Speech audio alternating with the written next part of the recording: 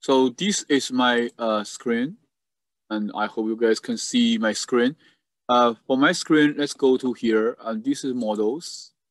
Uh, I have uh, I have four models. Uh, model one, model two, model two, three, model four. And for the model one, and the C, the C value equals one. And for this is uh, this one, C equals uh, one quarter. And for third model is C equals two. And for the, the fourth one, C equals four. So actually how to determine C, uh, you can you don't need to specify the C value. And C value depends upon on how you apply the end conditions and for this beam. And uh, if you uh, look at this, uh, the okay problem description, and you can see and what conditions and C equals uh, one and what conditions you C equals other uh, values, one quarter, two or four. So I here I will not talk about this one in detail. So I, I'm going to show you, and this is my model one. Right? So this is model one, and these are parts. This is my part, and material. I want to show you guys. This is my material, and then section. Uh, this is my section, right? Uh, so this is the during process, a profile. Uh, so this one, Stephanie's uh, fluid inertia, I did not specify before analysis.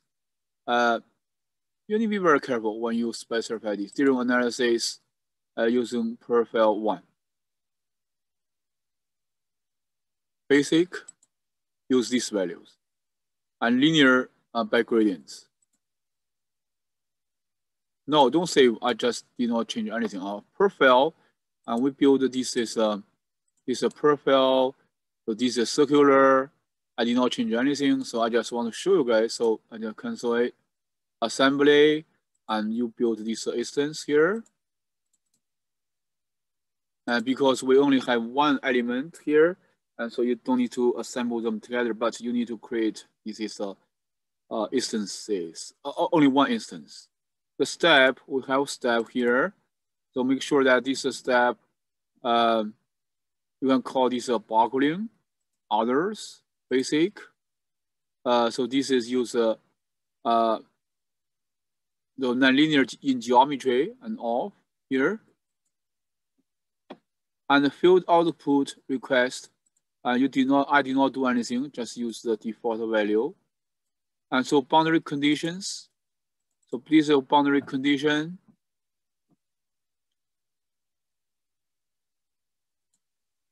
So boundary conditions here.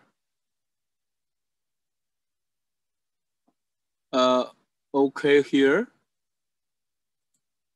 And the boundary two, as here, U1, okay, so this is for this one, uh, and U1, and you cannot move in the uh, X direction, but uh, in the can it can move in the uh, y direction and can also rotate. And then this load, this load, make sure, and this here, on this this one here, there is a load negative one, right? So this is a critical value. This is a um, uh, this value we use ne negative one uh, in the y direction.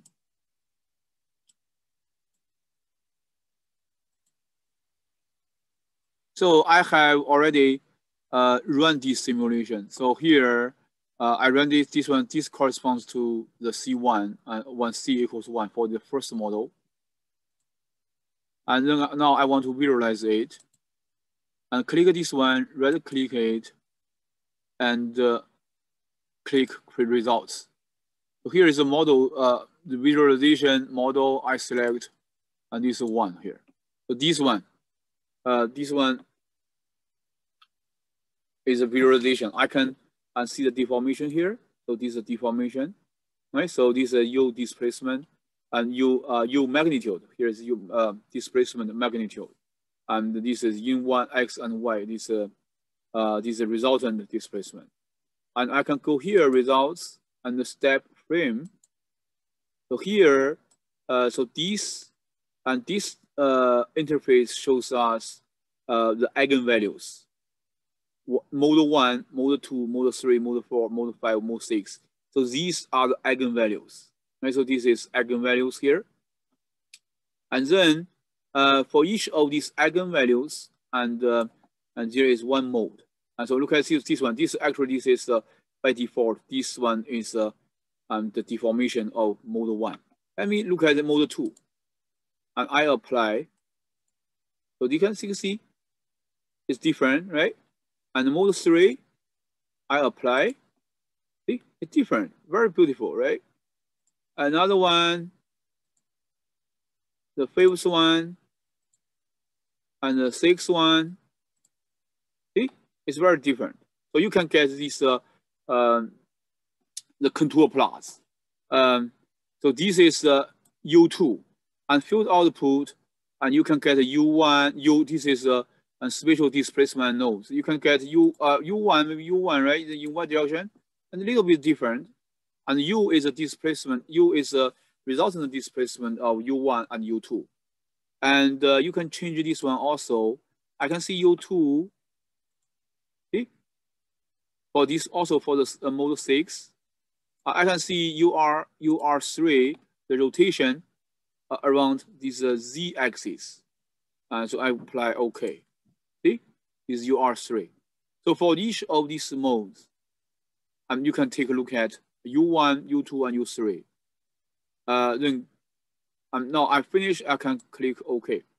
So some students might complain that, hey, this is a background. This background is a is is a is a dark uh, is this uh, if I print this one, put this uh, uh, print screen and put a screenshot and in the Word doc, and then when I print out, and I will, uh, I need to uh, use a lot of ink. So how to change the background? And you can go here. Okay, so this is options here. Uh, let's see, view is a graphic options and go here, viewport background, and uh, you, we can use solid, and we use, this is a, a very light one, right? And then we don't use gradient, and we can see this. And so you can uh, print screen and crop uh, this one. And so when you print this out, and uh, and you can see a lot of ink.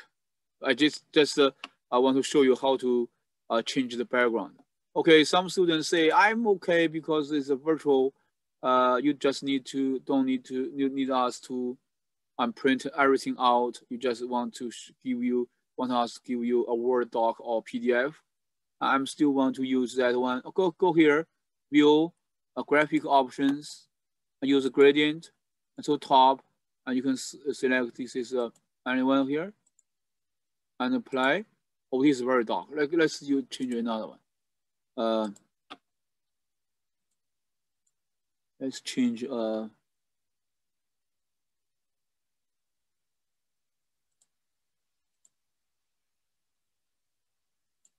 you good? Oh, okay. It's very, very colorful. Uh, which one is the, the initial one? I'm color blind. Which one is the initial one? Maybe this one, right?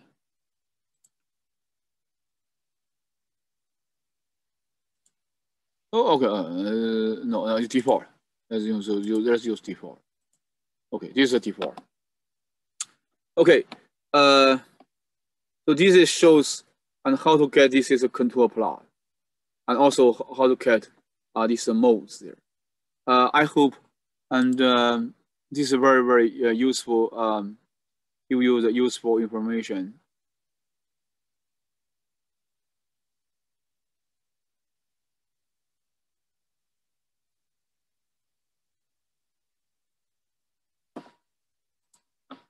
I think this is pretty much uh, on what you need on how to do the post uh, uh, processing. And uh, to further help you, I want to show you uh, for C equals uh, one quarter and what is the model. Uh, this is a boundary condition. Uh, it's a boundary condition. Everything else, I think, uh, is the same. So let's look at the boundary conditions. Boundary condition. Uh, so this is my boundary condition. So this is boundary condition, and for c equals uh, one quarter, and so this point is fixed. Uh, so look at the, our problem statement, and the c equals one quarter, and so the the the bottom point is fixed, and the three de uh, degrees of freedom are fixed. So that's the reason it's fixed here. However, so the top uh, node, the top end is uh, is free, and we just apply the load here. Uh, no, I'm sorry. Uh, load, no, not no new load. I just want to check the existing load. Existing load, a negative one. I also, you need to do the convergence test for each of these C values for these uh, and four case scenarios. And when C equals two, and when C equals two, um, the the bottom uh, end is fixed. That means the three degrees of freedom. Uh, the three degrees of freedom are uh, uh constrained, and however, on the top and the top end cannot move only in the y direction.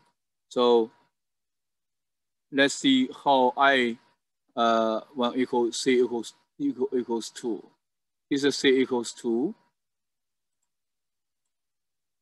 Uh, boundary conditions and boundary C1. As I said, the the bottom end is fixed in three degrees of freedom. Uh, the top end, the top end is uh, is a is uh, constrained in y direction, cannot move in y direction, but it is uh, free to move uh, in the second direction, in y direction, and also free to rotate about the z-axis. So that's the reason for the top end, I have this uh, boundary condition. And also, once again, the load, the load is, uh, is applied at the top end and uh, the uh, the force is only in the y direction, and the y direction, the negative one. So this is for uh, the case when c equals 2. And for c equals 4, uh, that's another uh, case scenario. 4 equals 4, that means uh, both, uh, okay, so c equals 4, the bottom end is fixed in three degrees of freedom, and the top end uh, can move only uh, in the x direction. In y, I'm sorry, can move only in y direction, cannot move in x direction, cannot move in the UR3. So be very careful. Let me show this uh, uh, mode three, mode four. So this is mode four. I have two ends and first boundary condition. And as I said, the bottom end is fixed in U1, U2, and UR3. The, bot the top end is fixed um,